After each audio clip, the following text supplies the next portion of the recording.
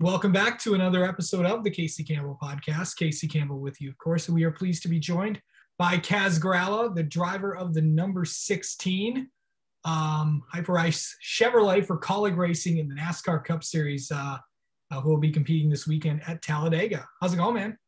I'm doing well. How are you? I'm doing good. Um, so, Kaz, the last time we saw you in a race car was the Daytona 500. Um, it's been a while since we've seen you. What have you been up to? Well, unfortunately, not racing, but uh, that gets to change this this Sunday, which I'm pumped about. Um, but no, doing a lot of a lot of virtual racing, and honestly, uh, just a lot of working on sponsorship and working on things for for the remainder of the season and, and for next season. Always trying to to look ahead. So I, I have not had a shortage of, uh, of busyness, just unfortunately hasn't been on track. So um, hopefully we'll, we'll be getting on track a little more often here going into the summer stretch, which um, would, would be a lot of fun, but starts with Talladega this weekend, which as you know, can be a little bit hectic. So I'm just hoping that, that we come out on the right end of it. So um, what, what, what got you interested in super speedway racing? Why do you like it so much?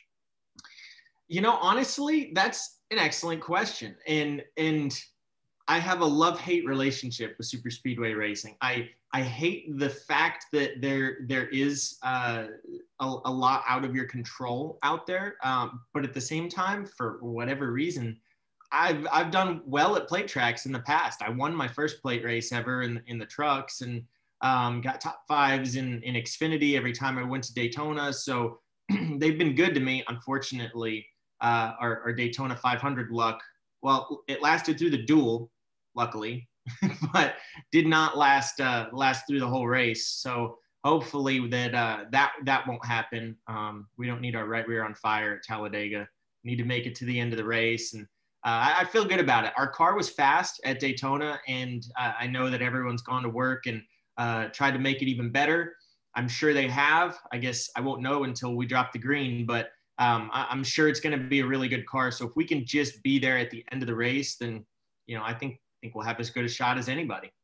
So Kaz, um, I I know you kind of talked about you might you're planning on getting more races in the year. What is your current plan right now? well, I think I think we're going to do the super speedways. Uh, I know Chris Rice, Matt Kaulig, they love the super speedways, and I like them too. So um, we're going to have some fun on on the big tracks for sure. Uh, as far as anything beyond that, it's kind of up in the air. I'm hoping to do some some other regular ovals or a road course here and there. Um, I, I, got that that one little bonus race in the trucks or in the, the second weekend of the year over at the Daytona Road Course. I'd love to do more of that type of stuff. Really, anything that that I can get my hands on to drive, no matter what the track is, I'll do it, no matter the series. So um, anything and everything I can, I'm, I'm ready for it. And hopefully, hopefully we'll get some more opportunities uh, throughout the season to, to stay busy on, on the weekends. So, so, I mean, you know, kind of going into this weekend, I know you only have, you know, a limited amount of races, but what is it, what's it going to be like? Do you, have you kind of planned on next year a little bit with how the, how things are kind of going? Have you had discussion with other teams and stuff? I, I haven't. it, has been more um, sponsorship based. You know, anytime that that you can try to get um, a relationship with a company, whatever series or whatever team, it doesn't matter. That's that's always going to be a benefit. So we're definitely not at the point of the year where where you're talking to other teams and um, and, and honestly, Kaulig would be would be the place to stay. They they're growing so quickly and, and doing big things everywhere that they are.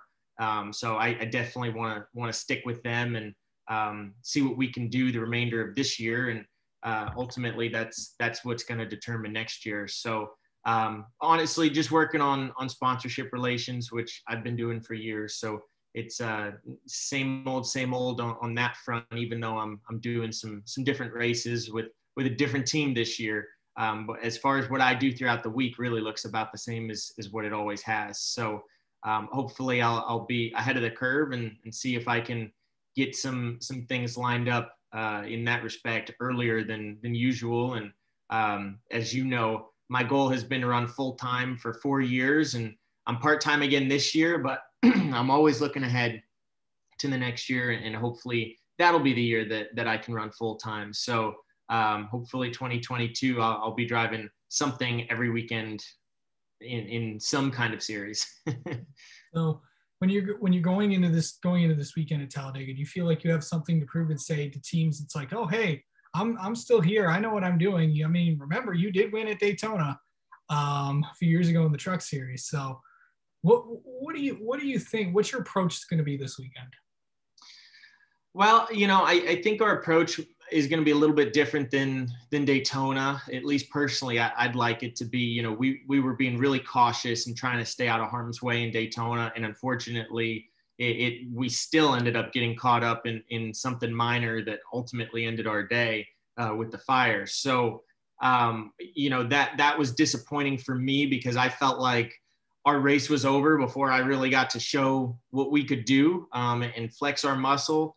So uh, this weekend, you know, I, am I'm, I'm not looking to to be you know overly aggressive or anything too early by any stretch, but uh, I, I would like to at least be able to to race a little bit um, throughout the whole race and, and make sure that that we're we're always busy out there and um, not necessarily just riding. So I think it'll be a little different approach from us than than the 500. Um, but hopefully we'll we'll have success with it and, and be be there when it counts in stage three. So um, I, and, and I do think that I have something to prove. Uh, just in general, when it's multiple months in between races, you know, everybody else has been racing and everybody else is is the story. And I feel like I need to kind of remind everybody, hey, you know, I'm I'm here. Don't forget about me, and I'd like to be here every week. So um, I, I, do feel like anytime I get in a race car, I, I kind of have to try to to set the bar and, and remind everybody that that I'm there. And the only way to do that is is by performing. So that's that's my plan. Easier said than done, but um, I, I, feel like we can do it as as a group. And um, Kaulig racing, of course, not only do they love the plate tracks, but they're really good on the plate tracks. They they know what they're doing, um, and, and so does RCR that that we work with. So uh, all around, I feel good about the car and about the team and um, and, and I feel like I, I, I, can do really well on plate tracks too. So we've got all the pieces and uh, just didn't get that result at Daytona, but I feel like this this could be our weekend to do that. Kaz Grala, thank you so much for coming on and uh, good luck this weekend at Talladega. Thank you very much. Anytime.